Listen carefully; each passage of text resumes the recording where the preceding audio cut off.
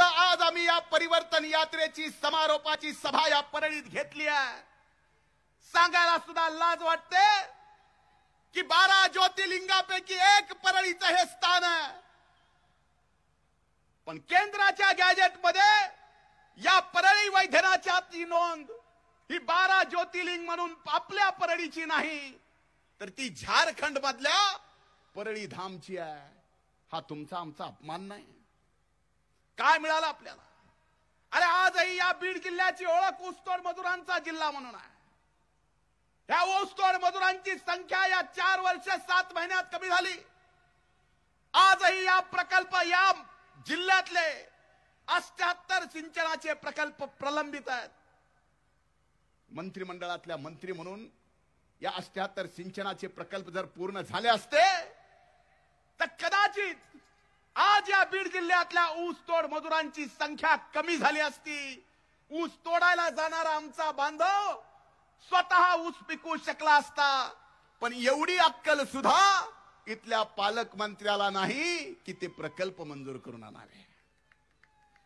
अरे ज्या परळीचं प्रतिनिधित्व तुम्ही करताय आज त्या परळीमध्ये प्रभू वैद्यनाथ जसं शक्तीपीठ आहे तसं वीज निर्मिती करणारा साडेबाराशे मेगावॅटचा प्रकल्प आहे. आज आपल्यापैकी अनेक जणांना माहीत असेल सर्वच्या सर्व शेवटी ऊसतोड मजुरांचं ते महामंडळ सुद्धा रद्द केलं. औरंगाबादला स्वर्गीय मुंडे साहेबांचं स्मारक करणार सांगितलं. सरकारने जमीन घेतली. स्मारक मुंडे साहेबांचं झालं नाही. स्मारक छत्रपती शिवाजी महाराजांचं झालं नाही. स्मारक परमपूजनीय डॉक्टर बाबासाहेब आंबेडकरांचं झालं नाही. मग या सगळ्या गोष्टीचा अपमानाचा राग आपल्या मनात नाही? आणि हे जर राग आपल्या मनात असेल तर माझी हात जोडून कळकळीची विनंती आहे. अरे विधानसभेला माझ्यासारखा एक व्यक्ती निवडणुकीला पराभूत झाला. पराभूत झाल्यानंतर सुद्धा पंधरा दिवसात माझ्यासारख्या एका सामान्य कार्यकर्त्याला आदरणीय पवार साहेबांनी राज्याचं विरोधी पक्ष नेतेपद या ठिकाणी दिलं.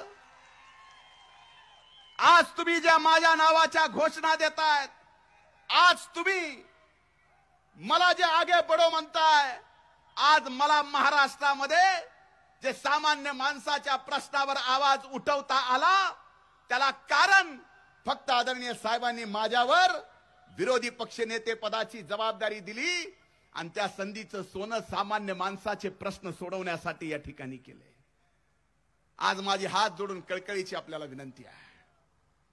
हा प्रसंग आजचा वेगळा एकीकडं भाजप आणि शिवसेनेच्या युतीच्या बैठका चालू होत्या. आणि एकीकडे नांदेडपासून काँग्रेस काँग्रेस राष्ट्रवादी काँग्रेस आणि मित्र पक्ष एकत्रित. जाहीर प्रचाराच्या सभा घेतात. वीस तारखेला नांदेडची सभा झाली. आज आपल्यात या तेवीस तारखेला बीड लोकसभा मतदारसंघाची सभा होतीये. अनेक सभा मी पाहिल्या पण आजची ही ऐतिहासिक सभा एवढी मोठी आहे की मी तर परळीमध्ये एवढी सभा मोठी पाहिली नाही. आपण पाहिली का?